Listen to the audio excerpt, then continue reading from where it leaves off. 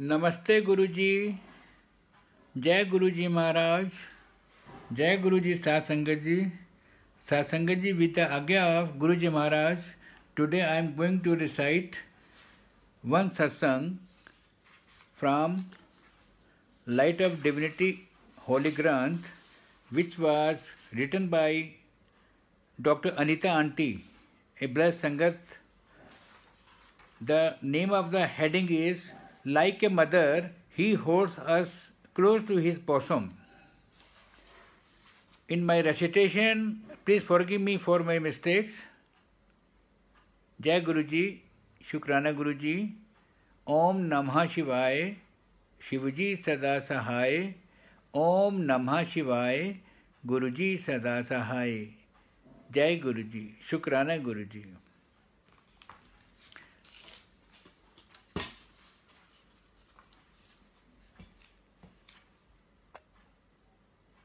pages 30 page number 36 the heading of the satsang is like a mother he holds us close to his bosom.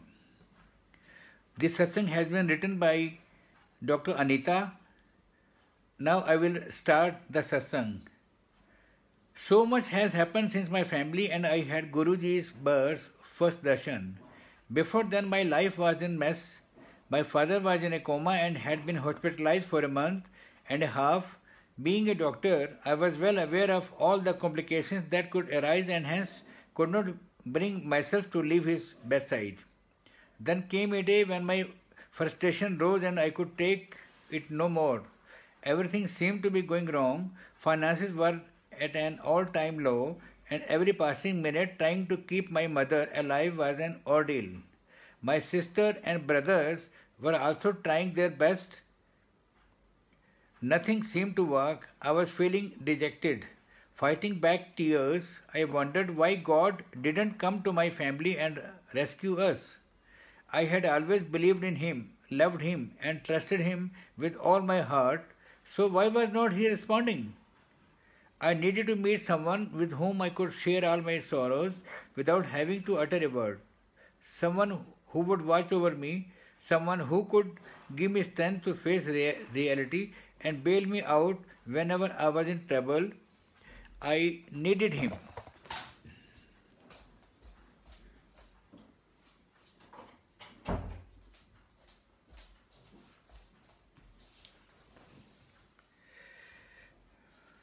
One night I came home but could not sleep. Around 3 am, my brother Shiv rushed into the room and gave us some prasad. Shiv told us he had been to Guruji and narrated some of the miracles he had heard over there. I slept well that night. Next day, my husband and I decided to go for Guruji's darshan.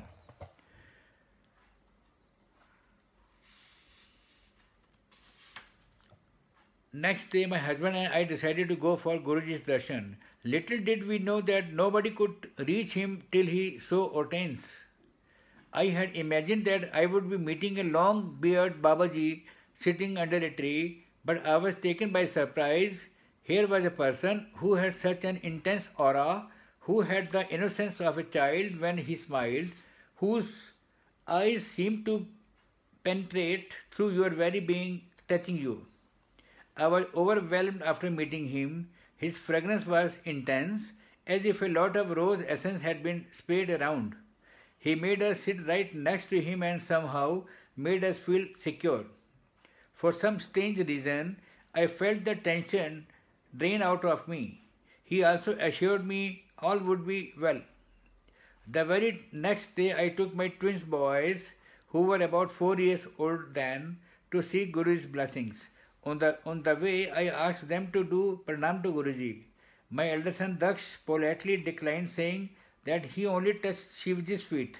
As I walked up to Guruji to pay my respects, Daksh just stood there while Dhruv bowed.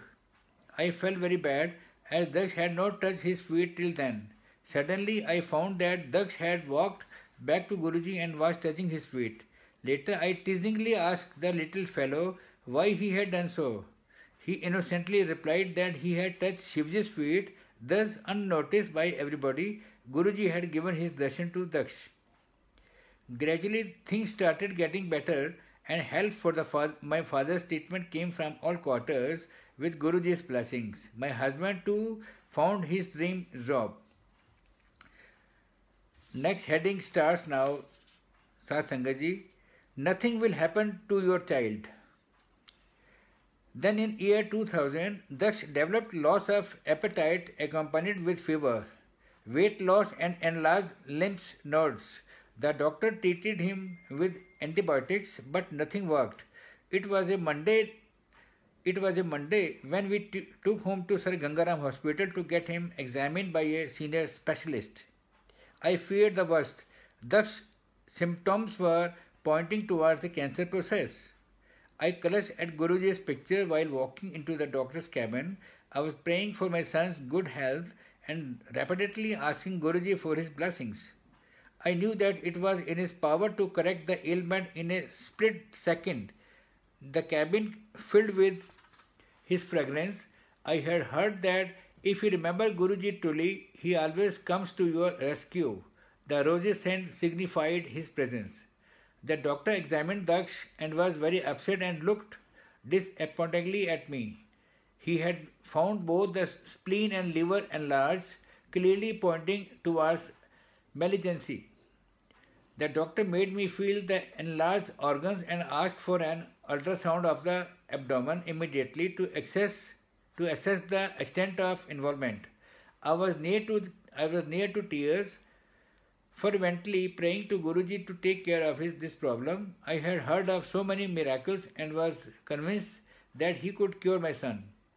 Throughout the 40 minutes drive to the radiologist, Guruji's fragrance reached out to us reassuringly. While the ultrasound was being conducted, my son and I could feel his presence as his fragrance lingered around us. With Guruji's blessing, the ultrasound was normal. The entire diagnosis changed. Even the liver and spleen were found to be normal in size. Guruji had listened to our prayers and given a new lease of life to our child. In the evening, we reached Guruji's place, hoping to talk to him about the day's events. We were pleasantly surprised as we entered the hall, for he called out with a mischievous smile on his lips. So, what was the diagnosis? I was overwhelmed. He already knew what had happened during the day and yet had given us an opportunity to satisfy our curiosity. I told him that doctors were suspecting cancer. He kept quiet. I was near to tears when he said, Don't worry, nothing will happen to your child. I inquired if I needed to conduct the various tests that were due. He answered that as I was a doctor, I would not understand and I could go head as I wished to somewhere. Somewhere my logical mind would not let things rest with him. And so I got a gamut of investigations conducted on my son. Believe it or not, each one came out normal. Finally, a biopsy was conducted on the lymph nodes, which by now had started joining our or meeting. The lymph node was removed, showed changes to the naked eye. I was confused. How could this be? Guruji had said that all would be fine, but then why this? All kinds of thoughts came to my mind. I was disseparate.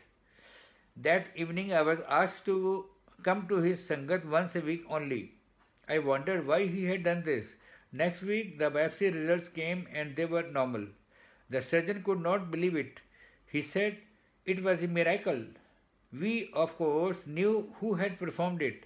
Guruji had blessed my son, so this had to be. A few weeks later, Guruji one day just said, Ja tere munde nu theek kar ditta. I have cured your son. From that day, the fever disappeared, my son's appetite improved, the lymph node was reduced, and the matting disappeared. Thanks to Guruji, Daksh became alright.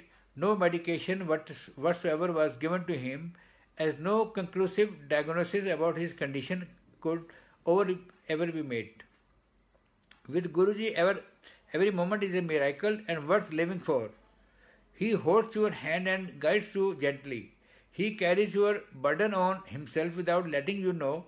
He clears the path ahead with makes it soft and pleasant. He shields you from all evil, all wrong, and holds you close to his bosom like a mother would to protect her child. And when you go wrong, he gently prods you back to the light path. He listens to you every breath that you take and gives you the faith to believe in the goodness of God. And that's Him. Unassuming, unassumingly, He watches over you and all other lives that even fleetingly touch you, blessing each one all the way. He has no heirs, no ego. He makes no demand. He is forever giving. He is unfathomable. Among the thousands that throng for the darshan, not a single one goes unblessed. Each one of us feels that he is with him only. He shows the correct way of conducting one's duty in this world.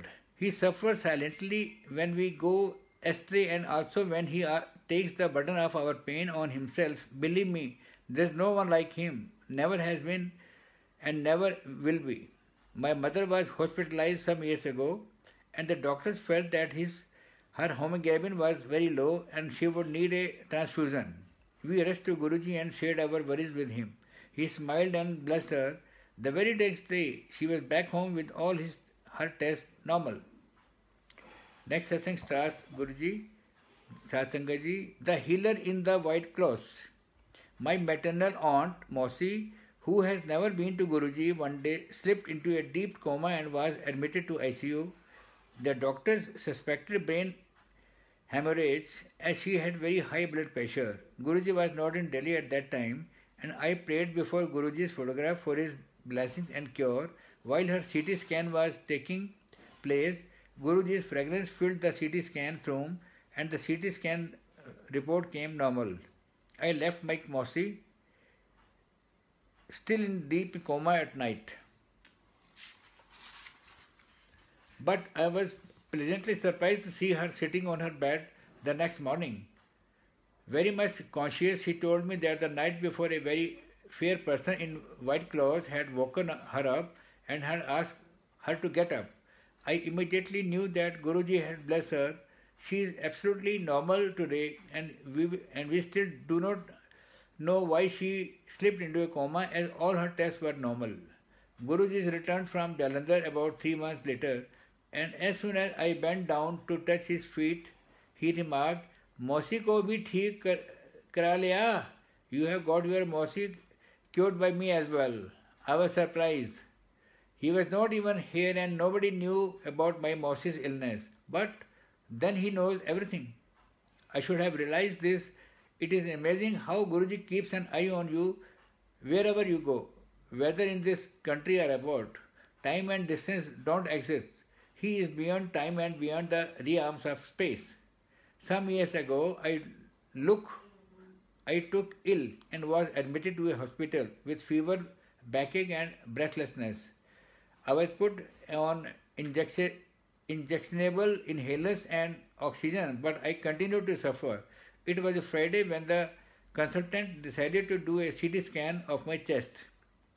The radiologist saw the scan he remarked that it was not a normal scan and whatever it was had spread to most of my lungs. I would need further evaluation. I was, I was alone in the hospital that day and the only person I could turn to and knew who would look after me was Guruji. I prayed to him the whole day. In the evening, I went to Guruji and out of the blue he turned to me and asked me how I was. I told him I was admitted to a hospital and had difficulty in breathing, and that every night since Monday I had been go so sick that the ICU doctor had been carried out, called out. I also told him that the CT scan of my lungs was bad and prayed that he cure me. He smiled benevolently and said that he had cured me and I was fine. I could not hold back my tears. In a fraction of a second, he had removed all my problems. That night I felt, I felt so relieved that I slept without any medication. I had not slept for the last four or five nights. The doctors came to check and found me sleeping without any oxygen support. They went back surprised. How in this world would they know that the highest power in the world was at work? The next morning, I requested a discharge and came home. I am feeling fine since that day, three years ago, and have not undergone any test. Some time ago, my husband, also a doctor, had been exper- experiencing some early morning discomfort for almost a week. An ECG detected changes, and we thought of admitting him. But my husband refused and came back home. He said he would rather go to me and take his permission for getting admitted. I took him to the cardiologist early next morning and even he suggested the evaluation at the earliest as changes in the ECG were clear and substantial. We panicked and decided to go to the see Guruji right away, knowing very well that it would not be possible to meet him at this hour. We were amazed to find ourselves in front of him. He looked at us and said, So you have come to get Arun cured.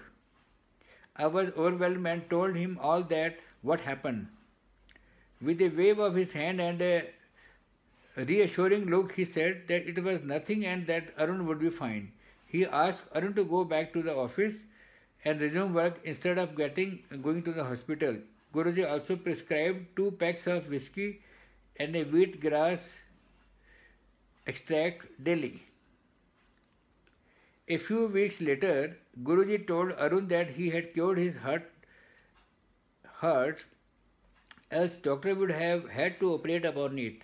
With Guruji's blessings, Arun is fine today. We are so thankful to Guruji for blessing us and giving us this happy family. We pray that he watches over us forever. His blessings extended to my sister as well. She fell sick and the pathologist indicated a diagnosis of some kind of lymphoma. But Guruji blessed her and said she had nothing and would be fine.